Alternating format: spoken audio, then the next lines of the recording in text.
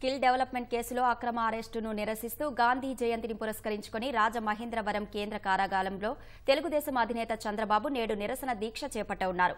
చంద్రబాబు సతీమణి Bhuvaneswari Rajamahendravaram quarry centre వద్ద దీక్షకు కూర్చోనున్నారు. చంద్రబాబు అరెస్టు అక్రమమంటూ బస్సు యాత్రకు సైతం శ్రీకారం చుట్టే ఆలోచనలో ఉన్న భువనేశ్వరి త్వరలో దీనిపై తుది నిర్ణయం ప్రకటించే అవకాశం ఉంది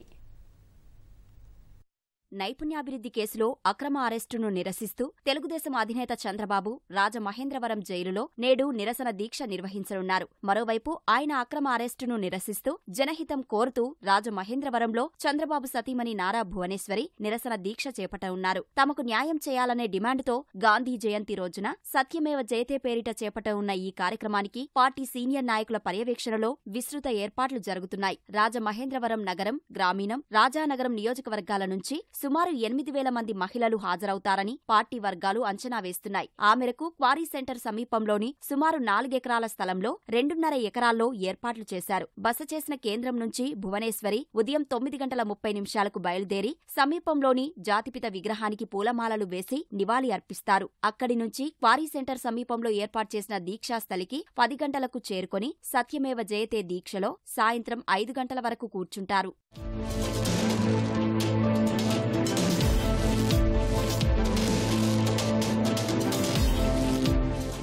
రాజమహేంద్రవరంలో మే నెలలో మహానాడు నిర్వహించినప్పుడు వేదిక సిద్ధం చేసిన బృందం పర్యవేక్షణలోనే ప్రస్తుత సభా వేదిక ఏర్పాట్లు శరవేగంగా చేపట్టారు. ఆదివారం ఉదయం వేదిక ఖరారైన వెంటనే పార్టీ జిల్లా నాయకులు పరిశీలించి ఏర్పాట్లు ముమ్మరం చేశారు. దీక్షకు దూర ప్రాంతాల నుంచి వచ్చే వాహనాలను నిలిపి ఉంచేందుకు వేదిక సమీపంలో పార్కింగ్ స్థలాలు ఏర్పాట్లు చేశారు. పార్టీ నేతలు యనమల రామకృష్ణుడు గోరంట్ల బుచ్చయ్య చౌదరి నిమ్మకాయల చినరాజప్ప ప్రత్తిపాటి పుల్లారావు జ్యోతుల నెహ్రూ వంగలపూడి అనిత మాజీ ఎమ్మెల్సీ ఆదిరెడ్డి అప్పారావు ఆదిరెడ్డి శ్రీనివాస్ తదితరులు ఏర్పాట్లు పర్యవేక్షిస్తున్నారు.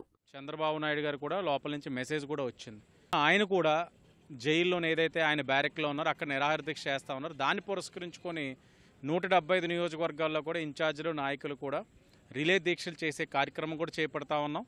తూర్పుగోదావరి జిల్లాలో ఇక్కడ భువనేశ్వర్ గారు చేస్తున్నారు కాబట్టి ఇక్కడ నాలుగైదు నియోజకవర్గాలకు వెసులుబాటు ఇచ్చి అందరూ కూడా సిటీ నియోజకవర్గం దగ్గర అందరూ కూడా మేడం గారితో పాల్గొనేటట్లు చేయడం భువనేశ్వరి గారు ఏదైతే కార్యక్రమం చేస్తూ ఉన్నారో దానికి ప్రతి ఒక్కరు బాధ్యత కలిగిన ప్రతి తెలుగువాడు బాధ్యత కలిగిన ప్రతి పౌరుడు వచ్చి భువనేశ్వరి గారికి అండగా నిలబడవలసిన బాధ్యత ఉంది. ఎందుకంటే ఆవిడ చేసేది వాళ్ళ భర్త గారి కోసం లేకపోతే పదవి కోసం కాదు.